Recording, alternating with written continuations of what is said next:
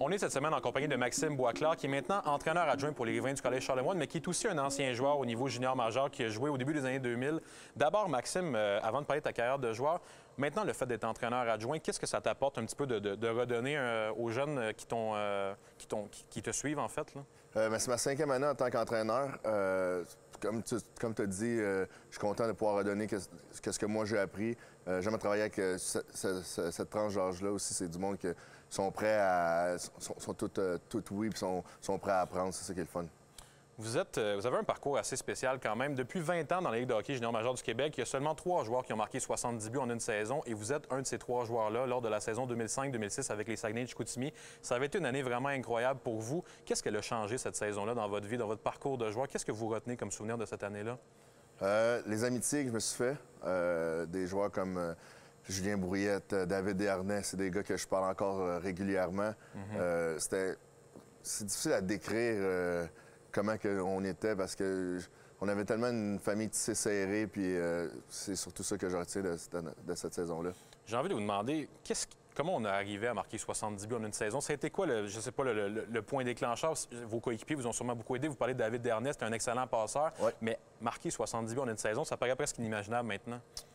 Euh, il y a beaucoup de chance. On ne se le cachera pas. Oui, il y a beaucoup. Euh, David était très bon avec moi, mais si tu regardes avec l'équipe qu'on avait, euh, des gars comme David Dernay, Julien Brouillette, Francis Véropa, notre attaque à 5 était incroyable.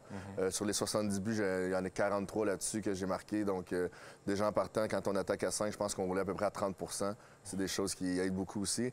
Mais c'est sûr qu'avec les 70 buts, il faut que tu aies aussi le petit côté chance de, ton, de, de ton côté. Si on se ramène un peu vers les années maintenant, en 2018, c'est rendu beaucoup plus rare. Quand on a 50 buts en une saison, on s'en réjouit puis on le, souligne. Est-ce que le hockey a bien avancé selon vous? Est-ce que c'est une bonne chose maintenant, ce qu'on a dans le hockey? Quel, quel enseignement, pas, pas enseignement, mais qu'est-ce que vous en tirez maintenant dans le hockey en 2018?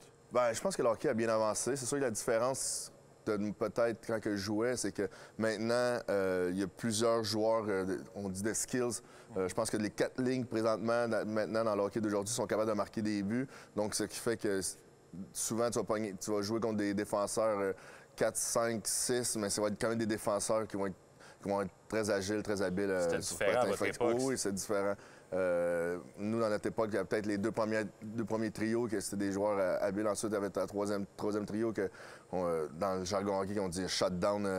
trio d'énergie, un petit trio peu. Qui apportait beaucoup de robustesse. Un côté qui, tranquillement, pas vite, dans le junior majeur, a été, ben, pas délaissé, mais qui a, beaucoup changé, ça aussi. Oui, mais je pense que ça a été délaissé. Je pense que mhm. tout, maintenant, tous les joueurs, de ce que j'ai remarqué, tous les joueurs, ils patinent très vite. beaucoup d'habilité individuelle, mais beaucoup moins de, robustesse.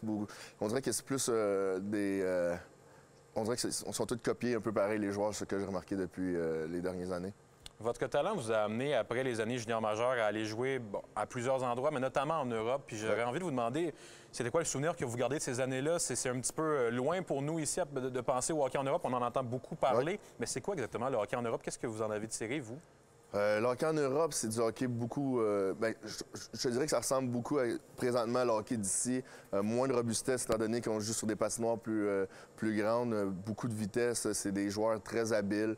Il n'y a pas beaucoup. Comparativement, quand même, bizarrement, il n'y a pas beaucoup de buts non plus, étant donné que la patinoire est plus grande, mais c'est des, des, bons moments que j'ai eu en Europe. j'ai bien aimé ça, dans une nouvelle culture aussi. C'est le fun de découvrir des nouvelles cultures. En terminant, euh, bon, vous êtes maintenant entraîneur adjoint. Je vous demande, euh, c'était quoi l'entraîneur le plus marquant dans votre parcours selon vous? Quel, entraîneur vous a le plus apporté? L'entraîneur qui m'a le plus apporté, euh, j'ai été chanceux, j'ai eu des, bons entraîneurs. J'irais Jules Vallée, ça a été mon entraîneur Midget 3 quand je jouais pour les cantonniers de Magog. On s'entend que c'était la première saison que je partais de chez moi. Euh, tu as 15 ans, donc... Euh, originaire de Port-au-Prince? Oui, je suis originaire de Port-au-prince. J'habite à Drummondville depuis l'âge de 3 ans. puis Jules Vallée, ça a été une personne d'une bonne influence de, de mon cheminement côté hockey. Ben, merci beaucoup, Maxime. Bonne chance pour les nouveaux défis qui s'amènent devant vous avec les années comme entraîneur. Merci beaucoup.